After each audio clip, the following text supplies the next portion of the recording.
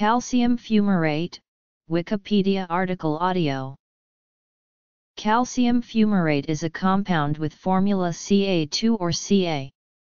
It is a calcium salt of fumaric acid. It has E number E367.